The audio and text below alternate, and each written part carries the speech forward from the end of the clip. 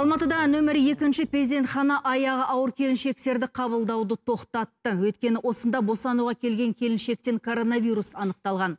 Сондықтан жас босанған аналарды қазір жаппай өзге перзентханаға көшіріп жатыр.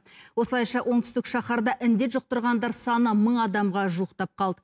Десе де қаланың бас санитар дәрігері кесел жұқтырғандар көрсеткіші күн санап азайып келеді дейді. Ал бүгін елімізде ең көп науқас Нұр Сұлтан қаласында тіркелді. Қауіпті кеселге душар болғандар жайында Диас Нұрақын айтып береді.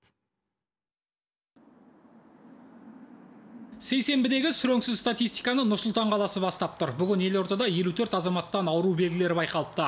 Тағы 2,5 мыңнан астам тұрғын үй карантиніне жабылған. Сөйтсек, бас қалада аурудың асқынып кету себебі мынада екен. 20 күннен бері елордада дәрігерлер, әскерилер мен полиция қызметкерлері секілді алдыңғы шепте жүрген азаматтар жаппай жедел тесттен өткізіліп жатыр. Осының арқасында вирус жұқтырғандар жылдам анықталып, дереу оқшауланды дейді қала әкімінің орынбасары тоғызыншы сәуірден бастап жаппай экспресс тестілеу жүргізілу басталды. Оның 15528 адам тапсырды. Қазір уақытта 10 науқастың жағдайы тұрақты ауыр халде. Оның ішінде 5 науқас жасанды тыныс алу аппаратында қосылған.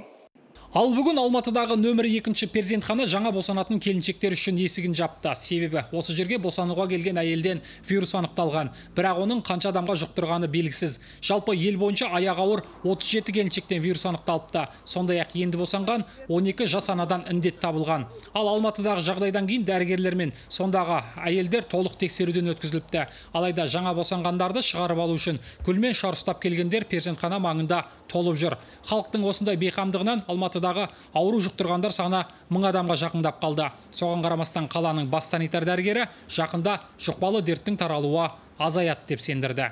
Если 20 числа 20 сәуір күні тәуліктік ауру жұқтыру көрсеткіші 15,6 пайызға жетті. Ал өткен сенбіде 2 пайыздың төңірегінде болды.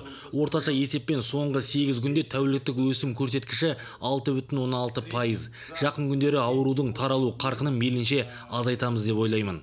Ал Атырауда бүгін 5 науқастан вирус табылды. Бесеуі де мұнайшы. Олар теңіз кенішінде вақталық әдіспен жұмыс істеген. Сондықтан науқастармен байланыста болған өзге жұмысшылар да карантинге жабылып тест тапсырған. Осылайша бүгін елімізде коронавируспен ауырғандар саны 3019 адамға жетті. Олардың 754-і аурудан айықса, 25 науқас бақилық болды. Диас Нұрақын Қайрат Зиябеков, КТК, Алматыдан.